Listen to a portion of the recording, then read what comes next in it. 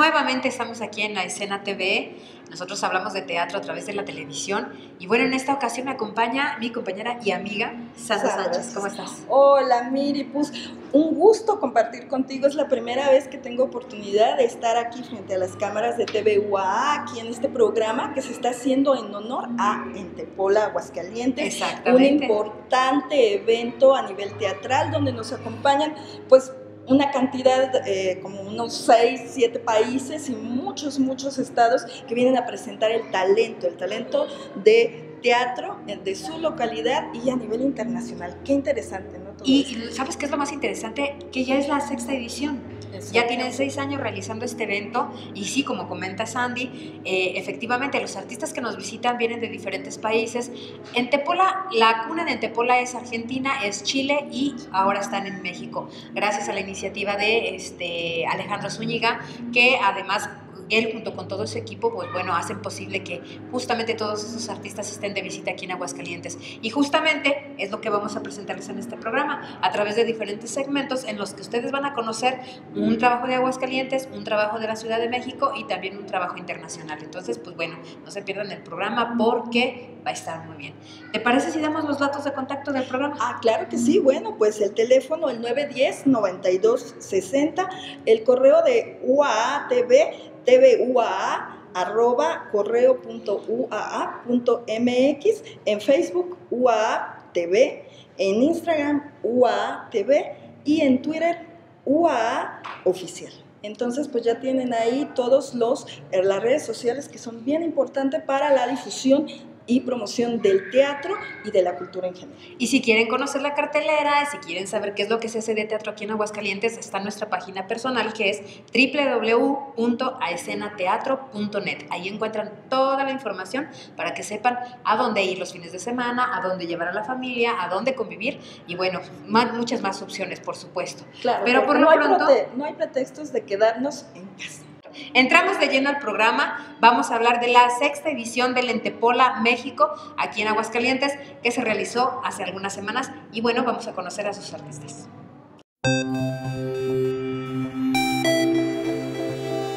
Oigan, de verdad que es un privilegio estar aquí con los artistas tan cerquitas, tan al flor de piel el sentimiento y estamos viviendo el sexto en Tepola, Aguascalientes, México, desde aquí, desde el Mágico Teatro Morelos.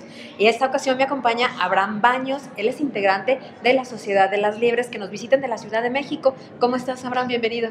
Pues estoy bastante contento, muchísimas gracias.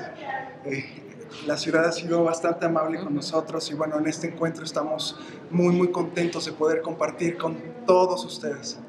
Platícanos, acaban de tener una función aquí en el Teatro Morelos, eh, a flor de piel, el sentimiento, una hermosa historia. Eh, ¿Cómo se llama la historia? La historia se llama Cómo vivir con los hombres cuando se es un gigante de la autora canadiense Susan Lebeau. Eh, nosotros somos la Sociedad de las Liebres, entonces llevamos a escena este, este espectáculo eh, que nació del Programa Nacional de Teatro Escolar de la Ciudad de México en 2018. 2018. Exacto. Cuéntanos un poco más acerca de la Sociedad de las Liebres. Bueno, la Sociedad de las Liebres es un colectivo que se encarga de hacer espectáculos para niños, niñas, jóvenes audiencias eh, nos enfocamos en, crear nuestras propias historias la mayor parte del tiempo. Eh, también nos, nos, encargamos de hacer el diseño de, de, los títeres, casi siempre trabajamos con objetos, títeres. Eh, música, la música es un elemento primordial en, en lo que creamos y bueno, pues casi siempre, siempre es para, para, los niños, las niñas, sus familias y toda su comunidad.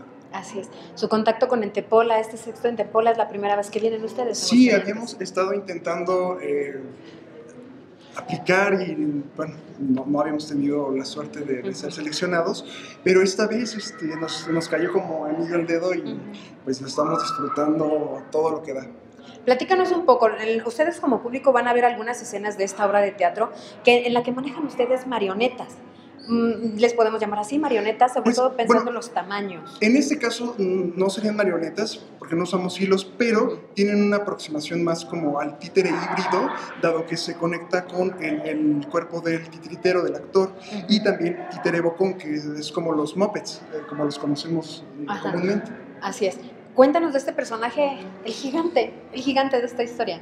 Bueno, Troller es el gigante de, este, este cuento, de esta narración, de, este espectáculo.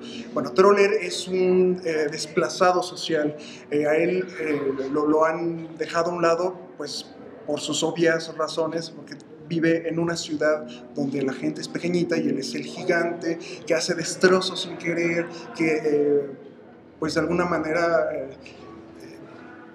la vida, la, ¿cómo llamarlo? Las circunstancias lo hacen a un lado, ¿no? Sí. Eh, más sin embargo, es un gigante de buen corazón. De alguna manera, la gente le tiene miedo, pero él quiere compartir un poco el, saber cómo, cómo es estar acompañado, cómo tener amigos, y no lo logra porque pues al acercarse siempre le huyen o siempre destroza o hace algo que hace que la gente terror en, todos los que lo, lo, rodean. Así es. Esta historia eh, maneja mucho eh, el sentimiento de los niños mm, frente a la naturaleza, frente a la amistad, frente al acercamiento entre los seres, aunque seamos muy diferentes unos de otros. Totalmente. Yo creo que el teatro es el arte de la empatía por excelencia. Entonces nosotros, digo, intentamos eh, poderles mostrar un poquito de lo que podríamos hacer en comunidad y, justo como compartir este mensaje de, aunque seamos distintos, no importa la forma que tengamos, siempre eh, si alguien nos quiere, eh, vamos a estar unidos. Entonces, por ahí queremos abordarlo un poco y pues es lo que hemos presenciado el día de hoy. Abraham, tu experiencia como actor, este acercamiento con los niños, este, eh, estos textos de, de Susan Bo, platícanos. Pues mira, uh, yo en la carrera, eh, al final de la carrera tuve una clase que se llama Teatro para Niños, entonces ahí tratamos de hacer una exploración eh, en cuanto a la creación de espectáculos para jóvenes audiencias. Entonces, a partir del 2014 eh, nos establecimos como una compañía que se dedicaba a este público y de ahí empezamos a hacer esta exploración con, con, los espectadores. Hemos tomado talleres, también nosotros damos talleres para podernos acercar a los niños a las niñas y podernos encontrar un tanto con su mundo, con su imaginario, porque al final de cuentas siempre nos situamos desde la perspectiva del que tiene que enseñar, del que tiene que eh, ordenar las cosas, y más bien son ellos los que nos tienen que enseñar mucho, los que nos tienen que ordenar paradigmas eh, importantísimos. El público infantil es muy difícil, ¿no? Este, son muy sinceros, a ellos no los puedes engañar y, si les gusta tu trabajo te lo dicen y si no, te, no les gusta también te lo dicen. Eso es lo que me encanta en las funciones que hemos tenido, las mejores y las peores, agradecemos que nunca hay un, gesto de, digo, voy a usar la palabra hipocresía, porque siempre están a flor de piel. Si están muy emocionados, lo van a demostrar sí o sí. Claro. ¿Qué viene para la Sociedad de las Libres? Pues ahorita estamos, eh, tenemos un repertorio que estamos tratando de mover, eh, porque son obras a las que les hemos agarrado muchísimo cariño y que deseamos pues poder compartir eh, fuera de la ciudad, porque en la ciudad nos, nos conocen eh, algunos amigos, compañeros, la comunidad teatral, pero estaría bueno empezar como a expandir un poquito como el alcance de, las presentaciones, ¿no? Nos toca aquí en Aguascalientes, que es un gran privilegio, y pues ahora habrá que ver cómo, cómo lo, tomó el público y... Claro. Pues, Ajá. No, y esperemos que no sea la única visita que tienen aquí en nuestra ciudad, sino que a lo mejor después fuera de Lentepola también se haga algo más con ustedes aquí. Claro, que además la ciudad ofrece, tiene una oferta cultural amplia, grandísima. Entonces, eh, digo, a final de cuentas, el teatro, decía Augusto Boal, eh, todo el mundo puede actuar, hasta los actores. Y el teatro se puede hacer en cualquier lugar, hasta en los teatros. Entonces, eh, esta ciudad es, es, un gran escenario. Así es.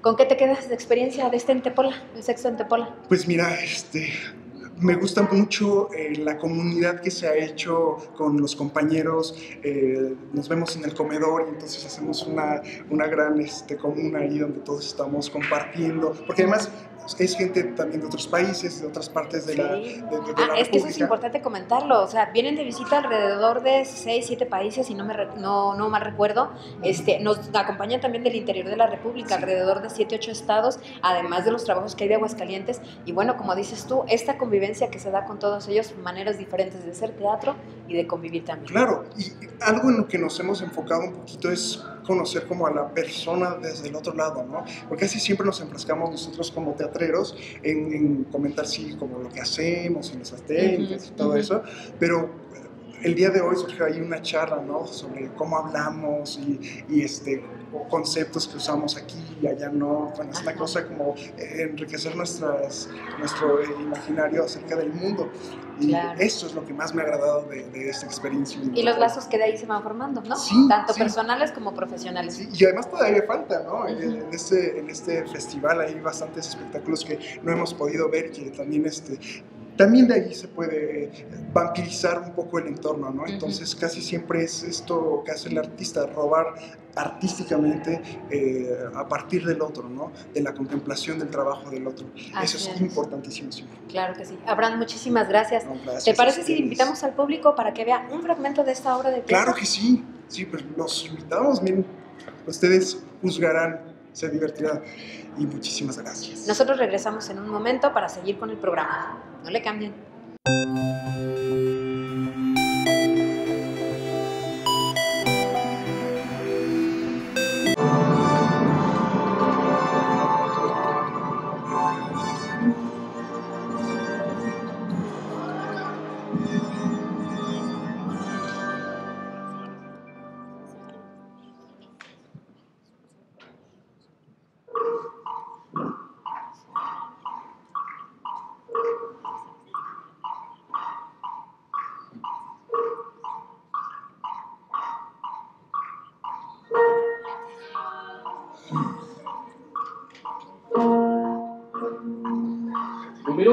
Desastres han ocurrido en toda la ciudad durante los últimos cuatro días.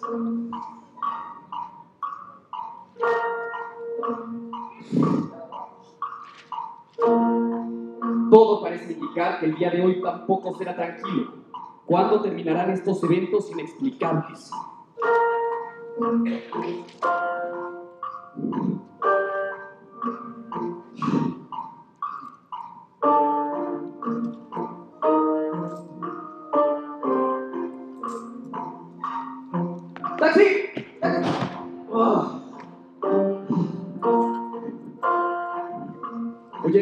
Te veo en 10 minutos, ¿sí?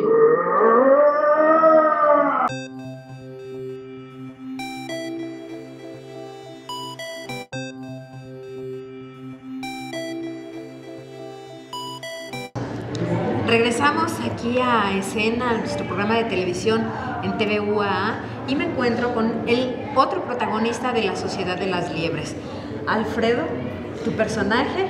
Andrés Torres, tu nombre. Exactamente. Muchas gracias, un placer estar con ustedes. Platícanos de tu personaje, Alfredo. Mi personaje es una rata que odia a los humanos, odia el ruido, em, odia estar acompañado, le encanta estar solo. Y de pronto, desde hace cinco días, han habido muchos problemas en la ciudad y él está harto porque hay un gigante que está en la ciudad que llora continuamente y que le está inundando su casa continuamente a Alfredo. Entonces él está muy enojado y decide de una vez por todas enfrentarlo y, pedirle que por favor ya no esté haciendo desastres en la ciudad y pues que no haga cosas que lo afecten. Así es. Esta convivencia con el gigante a través de un personaje, de un animal, eh, es como una comparación, digamos, con el ser humano el, el asunto como de la, la, rata y el gigante.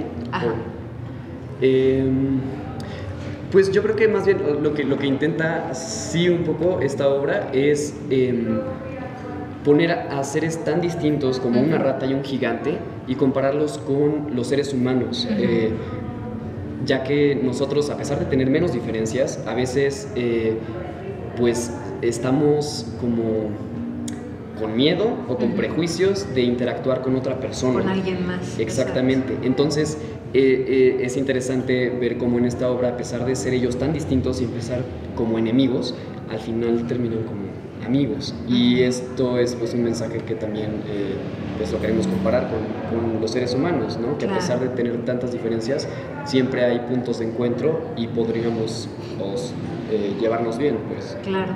Andrés, tú como eh, actor, como eh, creador, artísticamente hablando, este, ¿cuál es tu trayectoria? ¿Cuánto tiempo tienes ya en el teatro y cómo es que llegas a hacer teatro para niños? Pues llevo desde el 2005 haciendo teatro y de hecho empecé con una obra de teatro para niños que se llamaba Los Ladrones del Tiempo.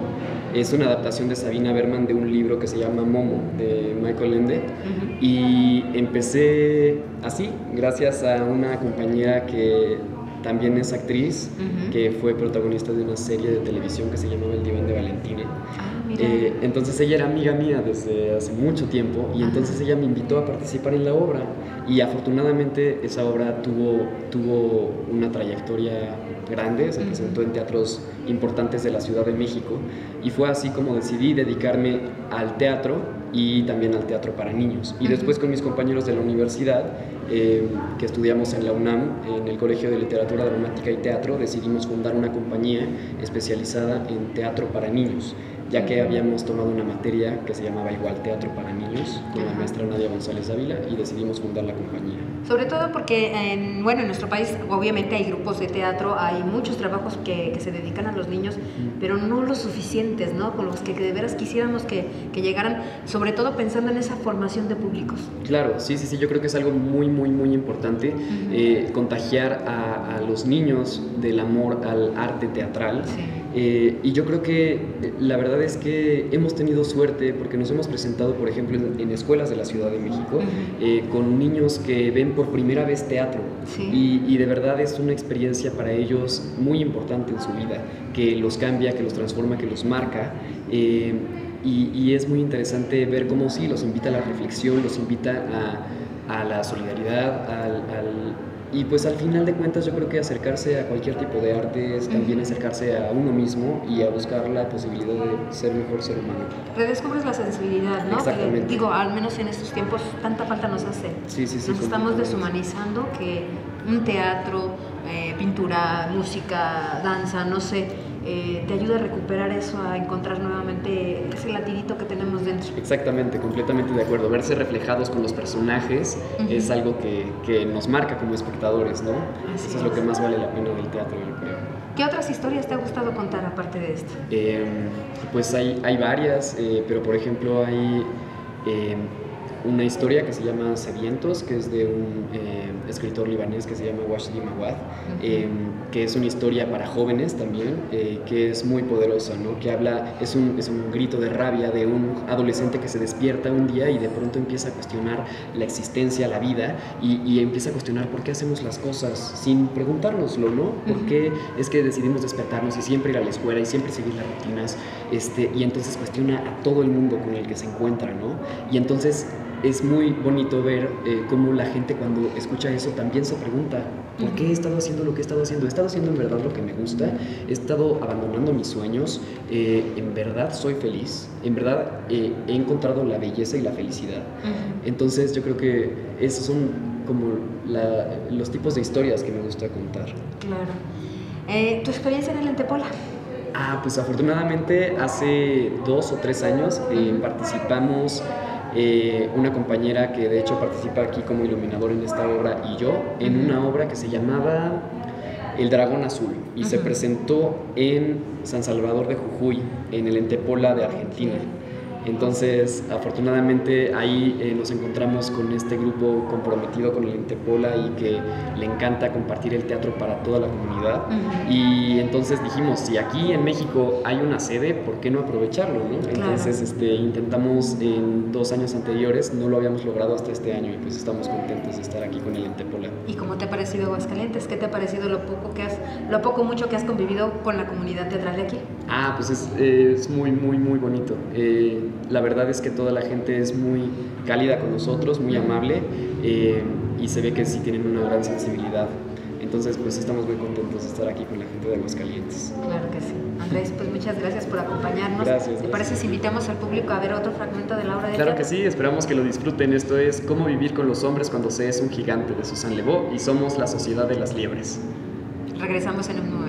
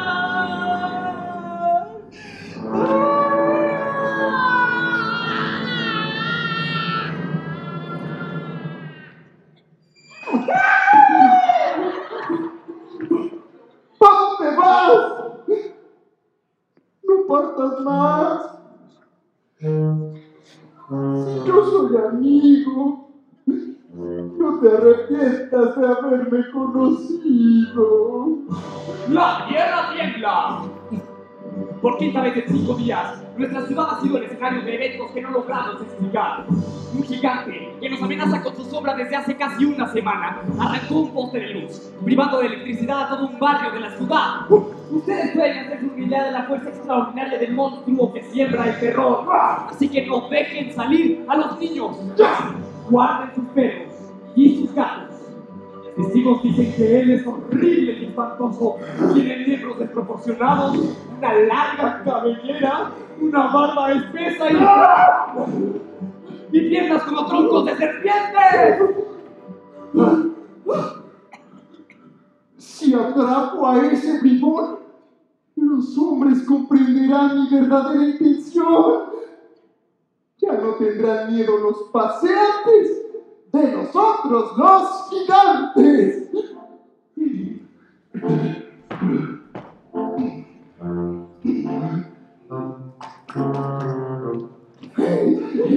Ay, disculpe, señor, mi tocar. Ay, no quiero molestar. Quisiera un café de té y una noche en brevedad. Si, si lo asusto es sin querer. Ay, Yo no pido caridad. Oro y plata tengo yo.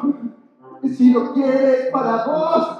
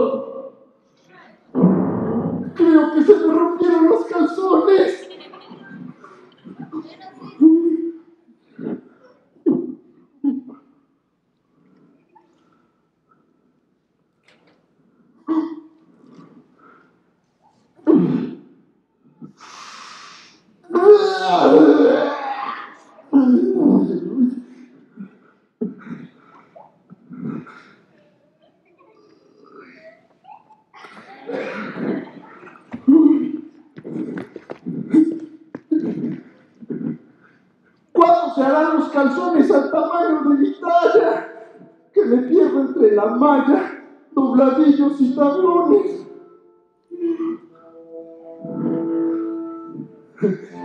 ¡Qué alegría abordar mi nombre! Cada letra, cada orden. ¡Trole! Suena como a ferias de hombrecitos en piruetas. Sucedió ayer, muy tarde, en la noche. Cables eléctricos arrancados y robados sumieron en la oscuridad a todo un barrio. arrancados y robados. arrancados y robados. Sí, arrancados y robados. ¡Cables eléctricos entonces son! El monstruo. El creador del caos total. El tunante. El bandido. Ese yo soy. ¡Ah! ¡Aguarda! ¡Aguarda!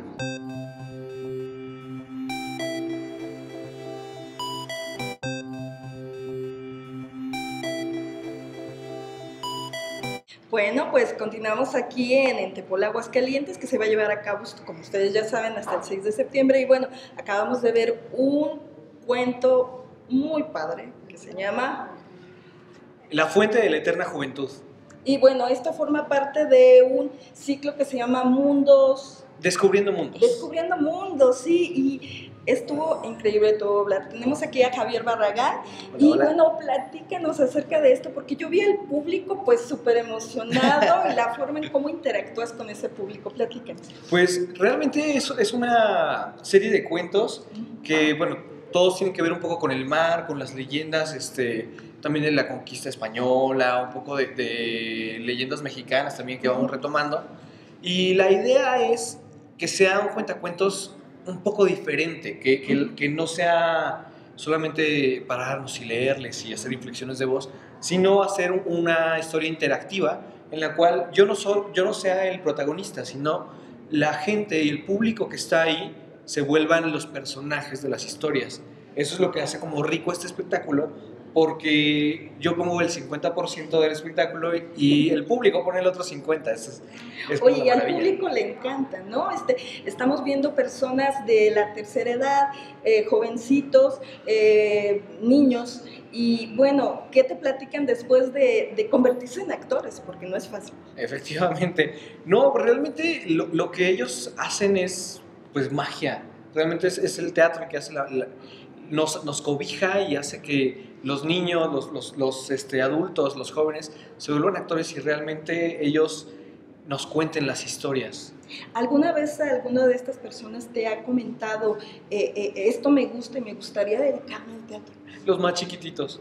Que tenido- siempre son los que son más eh, interactivos con la gente y con, con todo, ¿no? Sí, efectivamente. Me ha tocado hacer es- estas historias este, en muchos espacios, en el Festival de la Ciudad, en, en Carranza, en los programas que tienen, Claro. y bueno, en Tepola y escuelas, ¿no? Muchas escuelas que, por ejemplo, en kinder, en, en primarias, la- los niños más chiquitos son los que más se sorprenden y como ellos tienen la imaginación hacia el mil por hora, son los que dicen, es que yo quiero, quiero seguir actuando, ¿no? Y hay, por ejemplo, personas o, niños chiquitos que han ido a vernos una y otra y otra vez y llega- llegan, nos preguntan, ¿no? Oye, ¿y por qué ahora no me escogiste a mí para hacer la historia? Y yo, ay, pues es que tiene que haber más, más actores, más personajes. Entonces realmente es una belleza. Es una belleza. Este ciclo, aparte de este cuento, ¿cuántos cuentos más tienes? Ah, los que se imaginen. No, muchísimos, muchísimos. Tenemos este, la leyenda de Popocatépetl y el Isla Seward, otra que se llama Pablito y el Dragón. Estamos por sacar una serie de cuentos diferentes que serán sobre las mil y una noches también. Ah, ok. Pero ahora sí platícales al público de qué se trata este cuento que es- tuvimos la oportunidad de ver. Ah, pues es la fuente de la eterna juventud y cómo desde España o hay un navegante que está en búsqueda siempre de, esa fuente, de, trata de llegar al continente americano, eh, busca en lagos, ríos, este, en el mar, en, hasta en las cascadas, la lluvia, los charcos, en todos lados. Busca eh, y esta vez tuvimos la oportunidad de contar con el apoyo de Carlos Carrasco, que es un gran violinista, también actor, eh, nos estuvo acompañando con la música. Y Frida Barragán nos estaba ayudando con, en cuestión de staff, de traer, de llevar, de acomodar, de, de tener el contacto sí, muy, muy, muy directo con la gente. Rodrigo Villalobos, es, que es este, un gran amigo y es un hermano, Él estuvo en la cuestión de las luces también, entonces, pues este espectáculo pues, no soy yo solito. Entonces no, es, son- es un, un cúmulo ¿no? de, de- de todos los, los productores y de los creativos. Eh, Sí, sí. ¿Con qué te quedas de este evento que se acaba de presentar? ¿Qué es lo que te deja a ti como experiencia? Ay, pues es la magia de estar en el Teatro Morelos otra vez. Este año cumplo yo 10 años con, est- con esta, como cuentacuentos. Y estar en el Teatro Morelos, festejar mis 10 años de cuentacuentos en este, en este espacio, con este encuentro de teatro popular, eh, compartiendo escenario con eh, compañeros de DF, con compañeros de un telebachillerato también, la verdad es que a mí me deja encantado, fascinado, la verdad, Muy- y muy agradecido también. Claro que sí, y con muchísimas experiencias, ¿no? Me imagino con toda la gente de todos los eh, grupos que son de, de otras partes de la República, de, a nivel internacional, Argentina, Chile. Eh, ¿qué, qué te cuentan? ¿Qué, qué, qué les has aprendido en estos Ay. días de tu pueblo? Pues eh, justamente eh, estuve escuchando ayer la conferencia que dio un, amigo mío que se llama Jorge Avante sobre rizoma y lo que él está haciendo en Guinea Ecuatorial, que me parece maravilloso, el cómo puede llevar el teatro desde su perspectiva a hacerlo, hacer, nos, nos contaba él del rizoma, de las diferentes raíces que se pueden llevar, entonces él lleva el teatro a cinco personas y las cinco personas lo replican en su comunidad y luego regresan para platicar las experiencias y vuelve a- a salir, ¿no? Y entonces lo que él busca o lo que yo, yo entendí que él buscaba es que esa, esas raíces o esos cinco grupos se vuelvan 15, después se vuelven 20 y entonces así empieza como a generar una cultura diferente. Es una red, red Sí. de, de- de- de- de creativos y de ayuda y de compartir experiencias, ¿no? ¿Has tenido la oportunidad de compartir estas experiencias tú en otros países, por ejemplo, con los cuentos? Con los cuentos no, pero estuvimos este año en, en Tepola, Chile, eh, justamente en la sede de Santiago, con la obra de los bueno, 43, 44, 45, que habla sobre los 43 de Ayotzinapa. Eh, ¿Qué hubiera pasado 10 minutos antes o 15 minutos antes de que los pararan en el, en el camión?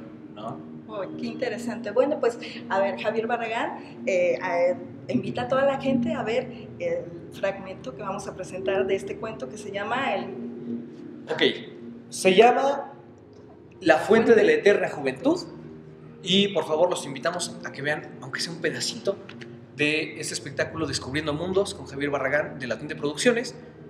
Adelante. Y nosotros les pedimos que continúen aquí, en la escena.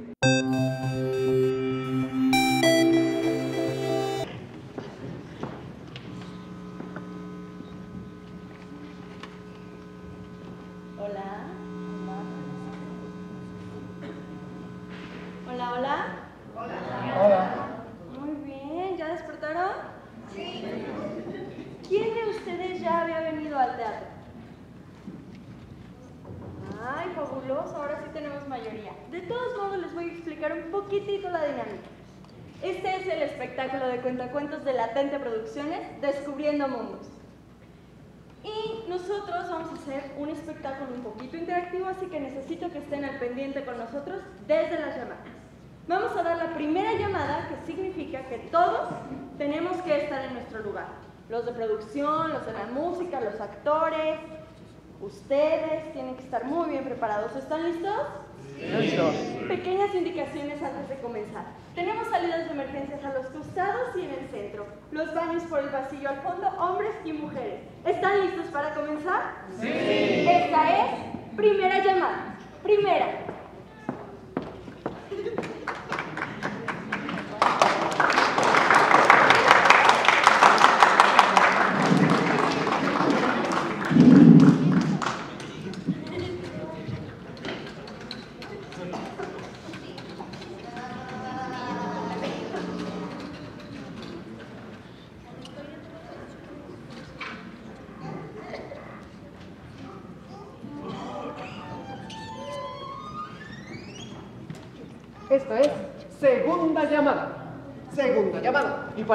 Segunda llamada? Bueno, para que los actores, los músicos, los tramoyas, los iluminadores y todo el mundo estén muy listos porque ya casi vamos a empezar. Así que esta es segunda llamada. Segunda llamada.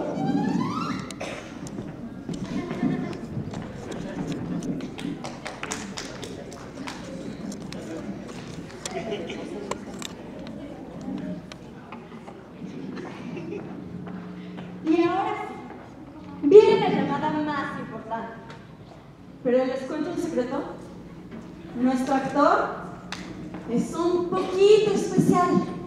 Entonces me está pidiendo por acá que si no le gritan, él no sabe.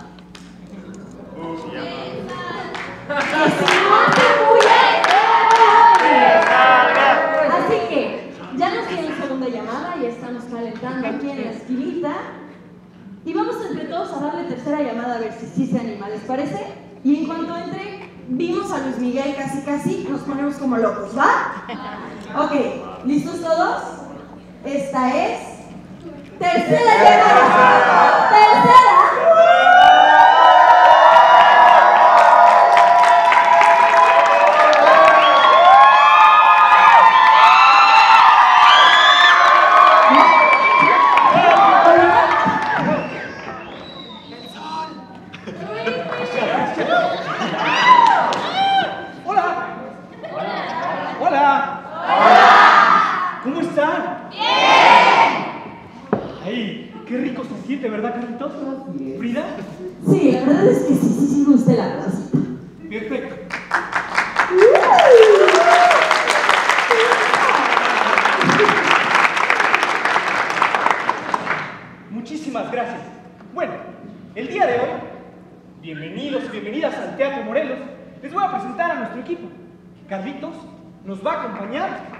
En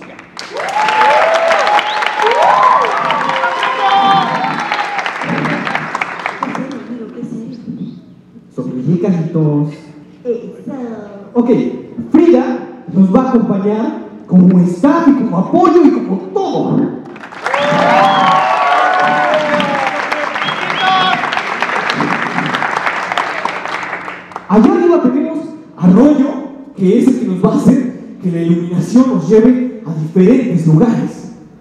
Adiós, Rollo. Hola, Rollo.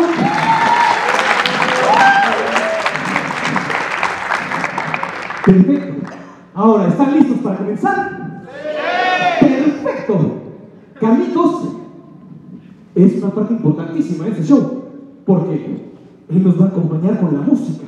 La música es importante en el teatro porque nos hace ir de un lado a otro. Por ejemplo, cuando hay algo triste, suena.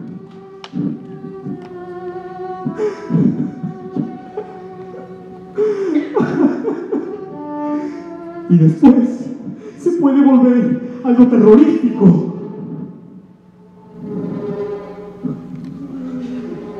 Bueno, bueno, bueno, bueno, pero eso no es todo. También nos lleva momentos felices.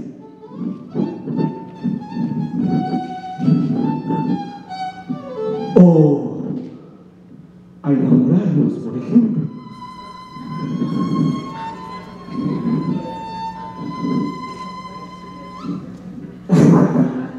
Bueno, ahora sí, vamos a comentar esta historia. Esta historia comienza hace mucho, pero mucho, pero mucho tiempo.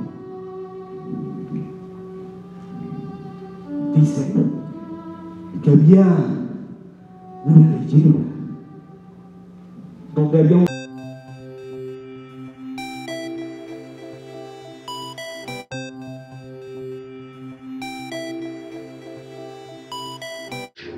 Bueno, ok, pues continuamos aquí platicando aquí en Entepola, Aguascalientes con los creativos y precisamente tenemos a...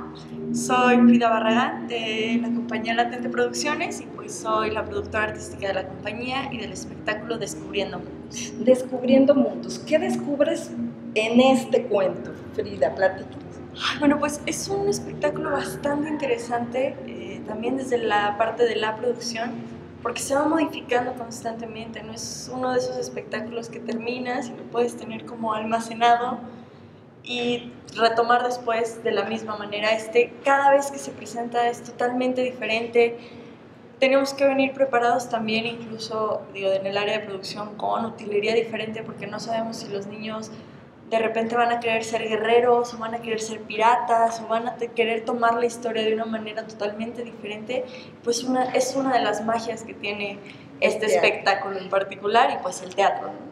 Oye, ¿qué te cuentan los niños, no? Porque tú eres la narradora al principio. ¿Y qué, qué te dicen? ¿Qué te cuentan después de este espectáculo? ¿Les gusta, no les gusta participar? Pues es, es la primera vez que lo hacemos de esta manera. que Yo Ah. también estoy sobre el escenario. Generalmente me toca estar más escondida en la Ok, parte de entonces atrás. son tus pininos. Pues, Pues digamos, como actriz tengo ya bastante Ah, ok. este, tiempo trabajando, pero en este espectáculo decidimos en esta ocasión darle este giro, incluir a Carlos con la música, a mí ayudando un poquito con la logística ahí arriba, por el espacio, por festejar los 10 años y pues por estar todo el equipo que estamos detrás un poquito más cerca de Tépola. Eh, ahorita que platicabas de la música, la música es de Carlitos. Carlitos. Sí, Carlos Carrasco es este, nuestro músico. Él es actor y casualmente descubrimos que también tenía esta magia con el violín. Del violín. Entonces lo vuelve personaje y de repente crea canciones. Hermoso, porque aparte le da así el tono preciso a las situaciones que, que- que- que Así nos es. encontramos ¿no? A lo largo de la obra. La creatividad, la creatividad, ¿ustedes escriben estos cuentos o, o ustedes se remiten a algún acto, a autor, perdón? Pues eh, estos cuentos nacen a partir de la necesidad de generar el fomento a la lectura, entonces retomamos cuentos clásicos, retomamos leyendas tradicionales, narración oral, popular, y a partir de eso creamos una escaleta y dejamos que los niños y los adultos y quien se sube con nosotros cree el resto de la historia. Que eso es lo rico. Ajá. Lo realmente rico, que el público se puede sentir parte de esto. ¿Habrá Sí. la oportunidad de que algún día tú escribas algún texto y lo muestres a través del cuentacuentos? Pues yo creo que sí, es un espectáculo que está evolucionando constantemente. Comentaba Javier hace un momento, estamos preparando eh, una nueva vertiente de este espectáculo de cuentacuentos, ahora basándonos en las mil y una noches. ¡Ay, qué interesante! Entonces- no, las mil y una noches, pues cuéntales un poquito, ¿son cuántos, cuántos, cuántos mil? Pues es una chica que está intentando conservar su vida y su manera de conservar su vida es que deja a este rey que la tiene condenada a muerte picado con sus historias. Entonces la manera de conservar su vida es decirle, bueno, pero mañana hay otro cuento, no me puedes matar todavía porque tengo otro cuento mañana. Entonces crea estos cuentos para conservar su vida y entonces vamos a retomar algunas de estas narraciones este, para hacer un espectáculo diferente y ver pues qué nos proponen los niños, vamos a ver qué magia se crea. ¿Qué crees que te propongan los niños? ¿Qué crees tú que te puedan proponer los niños para poder hacer un cuento? Pues este es siempre muy sorpresivo. Nosotros tenemos pensados muchos posibles finales y muchas posibles participaciones y nos organizamos y pensamos, si en esta parte pueden decir esto, esto y esto, y ya que llegamos con los niños, es como, ¿en qué momento se les ocurrió? Nos han dejado encerrados en la cueva y diciendo que ya no pudimos salir nunca jamás y ahí murieron y no era la fuente de la juventud, era una trampa. Este, se han robado el agua porque no se la querían dar a los reyes, otros sí van y se la dan a los reyes. Entonces, pues es muy divertido ver qué se les ocurre. Honestamente, metieron también a Naruto y ya A estaba Naruto, todo. a todos los, los personajes de, de Pues, ellos- tiras cómicas, de, de, de, de todo, ¿no? Es ellos llevan su vivencia y lo que tienen pues despierto ahorita, lo que les genera inquietud y lo sueltan aquí en los cuentos, entonces pues nosotros no nos queda más que ser receptores y crear junto con ellos. Latente Producciones, ¿qué sigue para, para ustedes? En Latente Producciones tenemos varios espectáculos en cartelera, muchos de ellos forman parte del programa interinstitucionales del Instituto eh, de Educación de Aguascalientes, entonces estamos constantemente presentándonos en kinders, en primarias, en secundarias, tenemos mucho teatro de corte social, tenemos tres obras en cartelera de corte social, otras más de temporada, como lo son Viva Aguascalientes, que es, eh, ese es multidisciplinario, tenemos danza, teatro, canto, y pues vamos recorriendo las tradiciones de Aguascalientes. Estamos por presentar, claro, el tradicional recorrido de leyendas, que Ay, nosotros pues lo ¿Para va a llevamos... ser el recorrido? Ese les invito a que estén pendientes de nuestra página porque estamos todavía acomodando fechas y ese también es parte del programa de interinstitucionales, entonces está abierto eh, pues nuestro calendario para agendar con escuelas de Aguascalientes y ver a dónde nos lleva este año las leyendas. ¿A dónde te lleva? ¿A dónde les llevará? ¿Ustedes quieren que los lleve a lo mejor al extranjero con todo este cúmulo de todos estos eh, proyectos que tienen? Pues es uno de nuestros objetivos. Esperamos que muy pronto podamos este, llevar el Teatro de Aguascalientes y lo que nosotros tenemos, pues no solo Aguascalientes, sino al resto del mundo. Y ahorita que comentabas tú de los niños, eh, ah, ¿se han propuesto a lo mejor hacer algún taller dado este tipo de, de, de cuestiones de que los niños se interesan tanto, se interesan tanto por sí, el teatro? pues bueno, Javier, que es el director de la compañía, y yo, eh, además de ser este, actores, de meternos en la producción y en la dirección y en la dramaturgia, los dos trabajamos como docentes. Ah, ok. ¿En dónde Entonces, eh, yo soy eh, docente en la Academia Cuerpo en Movimiento, estoy encargada del equipo de competencia del área de jazz. Y Javier está ahorita dando clase de comedia musical en el Colegio Lincoln, ha estado en la UVM y en varias instituciones. Entonces, pues es otra pasión que está ahí también latente, todo el Latente, tiempo. Como latente producción. Así es. Bueno, pues definitivamente felicidades por este trabajo que está hermoso y bueno, por favor invita a, nuestros, a, a la- a nuestro público para que sigan viendo este Claro, programa. sí. Pues los invito a que se queden en este programa, a que se acerquen en Tepola, vean todas las propuestas que todavía nos quedan muchos días y los invito a ver un pedacito de Descubriendo Mundos de Latente Producciones.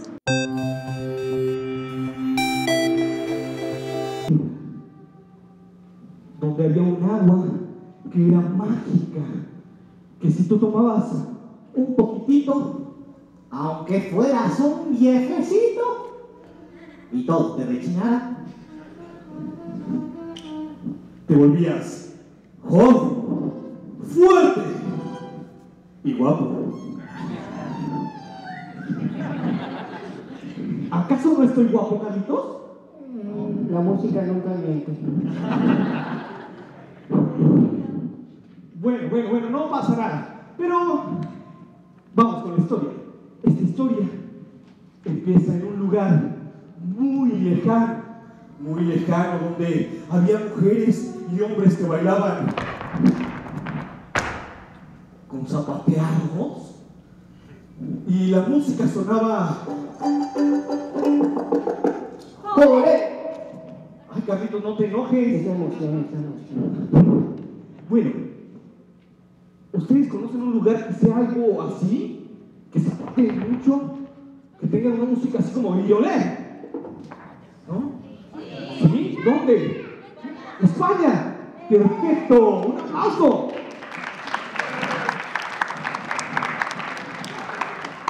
Ahora, ustedes yo sé que me van a poder ayudar.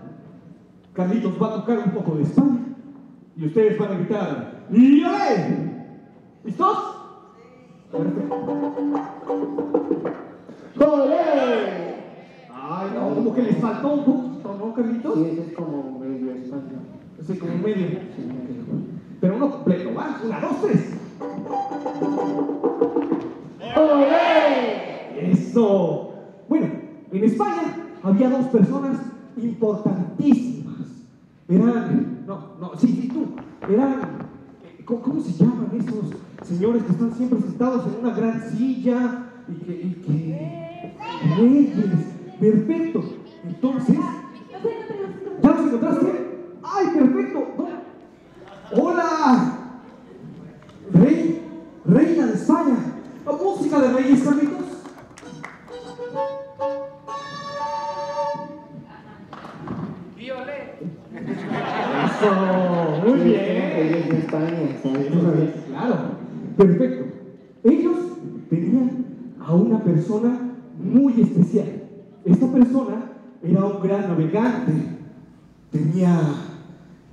Muchos tesoros por todos lados y se la pasaba buscando otros cuantos tesoros. ¿Era un pirata? Era un gran navegante. Él se llamaba Juan Ponce de León. ¿Cómo? Juan Ponce de León. Efectivamente. ¿Y, y alguno de ustedes ha escuchado hablar de Juan Ponce de León? ¿No? Ay, bueno, entonces se los tengo que presentar. Miren, eh, Juan, Juan, ahí está. Hola. Vente, Juan. Mucho gusto. ¿Cómo te llamas? ¿Juan? Ah, qué bueno. La. Perfecto. Es que estuvimos ensayando toda la tarde. ¿Verdad que sí? Ajá. Muy bien. Juan Ponce León era un gran navegante. Carlitos, por favor.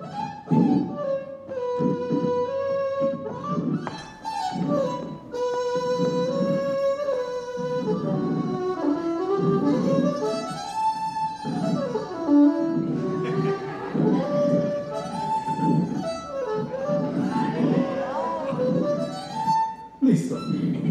Ya lo tenemos completamente listo. Él era Juan Ponce de León, un navegante muy veloz. Veloz. Sí. Muy veloz. Es que Era- ya fue y vino dos veces, obviamente. Con razón no nos dimos cuenta. Él tenía riquezas escondidas por allá y riquezas por allá. Había hecho tantas cosas en su vida que decidió descansar. Descansar. Sí, acuéstese. Él estaba en una playa descansando cuando a lo lejos se escuchó un...